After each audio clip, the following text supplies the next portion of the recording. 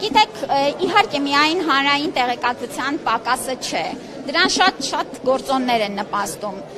Ինչպես նշեցի, Հայաստանում կոവിഡ്յան համաճարակային իրավիճակը բավական վերջին 3 ամիսների ընթացքում այստեղ հանգիստ շատ ցածր թվերի վրա է մենք կանաչ գոտում ենք գտնվում։ Եվ դա իր հերթին հանդիսանում է մի իրավիճակ, երբ որ մարդիկ այդ վտանգը շատ չեն գիտակցում եւ մեծամասնությունը մենք արդեն չունենք հարց պատվաստվել թե չէ մեծամասնությունը ճնշող համարում է որ այո պետք է պատվաստվել բայց քանի որ դեռ թվերը այդքան բարձր չեն եւ այլն մտածում են լավ մի փոքր էլ ուշ մի կգնանք հանգստանալու կվերադառնանք մյուս շաբաթ եւ այլն եւ այլն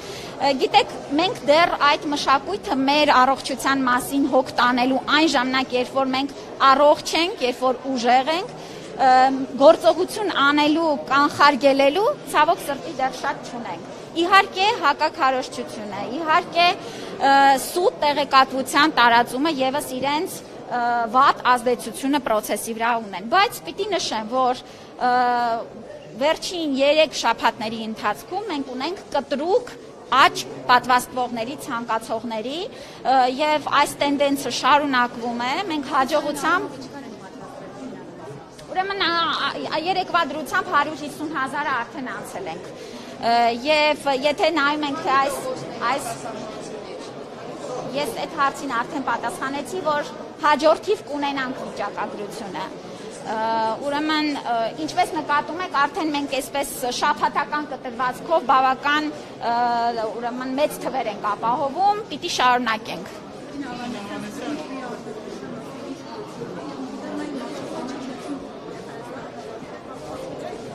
ինչ լինելու է։ Ուրեմն Սպուտնիկ V-ի արտադրության հետ կապված էկոնոմիկայի նախարարությունն է զբաղվում դրա արտադրական process-ներով։ Մենք ավելի շատ մեր մասով ենք ներգրաված աշխատանքներին։ Ընթանում է, process-ները ընթանում են եւ հույս ունենք ամեն ինչ լավ կընթանա եւ ի վերջո մենք ունենանք արտադրություն։ Մոդեռնայի մասով տեսեք թե նվիրատվության, թե գնման պայմանների մասով, ինչպես ասեցի, մենք ակտիվ քննարկումների մեջ ենք։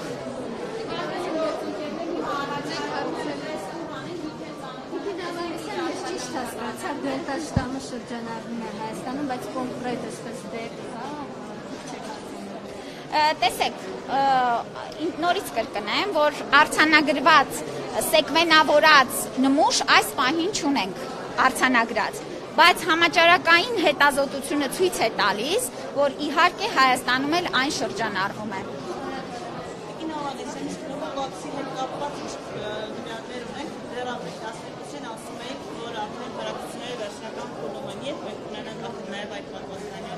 Ես ասում եի, որ ավարտվել են եւ մենք արդեն մինչեւ աշնան երկրորդ կեսը պետք է առաջին խմբականակներ ունենանք Նովովաքսի էլ, Ջոնսոնի էլ։